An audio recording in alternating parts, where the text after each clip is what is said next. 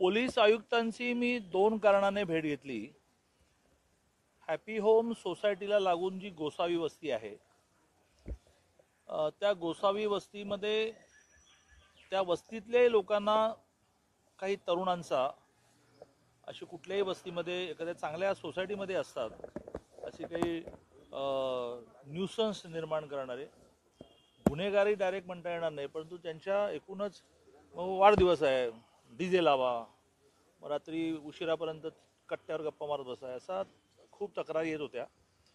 गोसावी वस्तीमधल्या सुद्धा आणि happy home सोसायटीमधल्या त्यामुळे आधी आम्ही डी सी पी गायकवाड मॅडमची भेट घेऊन अशी सूचना केली होती की तिथे एखादी पोलीस चौकी जर असली पोलीस स्टेशन नाही तर एक सायकोलॉजिकल फिअर निर्माण होईल आणि त्यात आम्ही सगळं सहकार्य करायला तर ती चौकी आम्ही बांधून देऊ.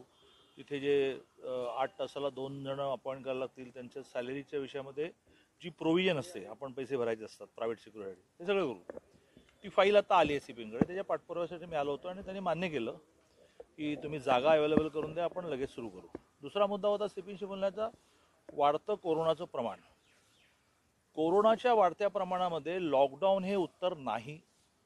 आता लॉकडाऊन केला तर तुम्ही एक रुपयाचं पॅकेज देणार नाही. एक वर्षभर लोक कसे जगले हे मातोश्रीत बसून कळणार नाही. त्यासाठी पूर्वी जसे कपडे बदलून वस्त्या वस्त्यांमध्ये राजा फिरायचा तसं फिरायला लागेल. कारण तुम्ही मुख्यमंत्री म्हणून फिरला की तुमच्याबरोबर ताफा असेल आणि कोण तुमच्याशी मोकळेपणे बोलणार नाही. तर तुम्ही प्रामुख्याने झोपडपट्ट्यांमध्ये जा.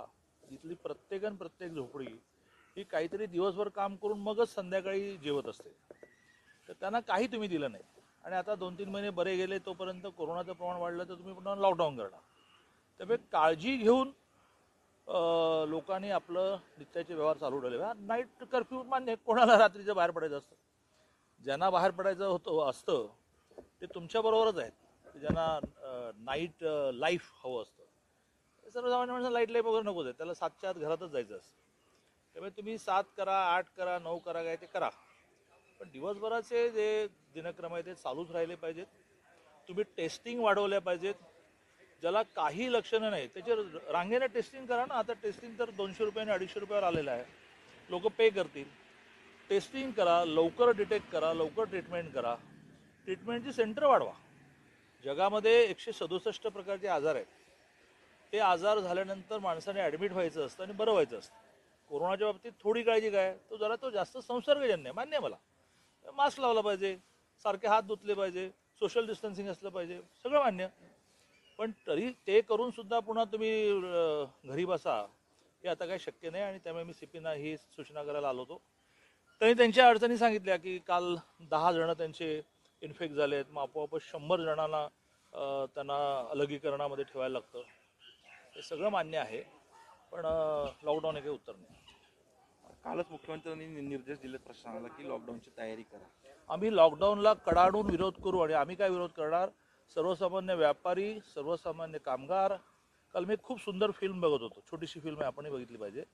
त्यात त्यांनी हा जो असंघटित कामगार आहे खूप सुंदर त्यांनी त्याच्यामध्ये शूटिंग पण दाखवले हा असंघटित कामगार कसं देशाची फार मोठी जी डी पी तयार करत असतो.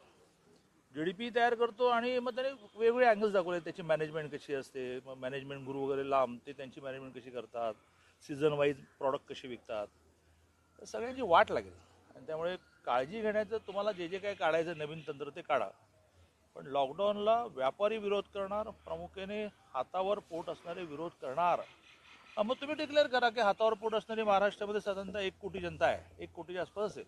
हमाल फेरीवाले घरी काम करणारी माझी ताई रिक्षावाले या सगळ्यांना तुम्ही दर महिन्याला पाच हजार रुपये पॅकेज द्या. ते दहा हजार रुपये कमवत असेल तुम्ही पाच हजार द्या.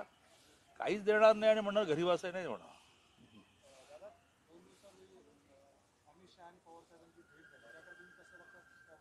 आणि यात आणखीन एक प्रश्न की अमित शहानी भेट नाकारलेली नाहीये.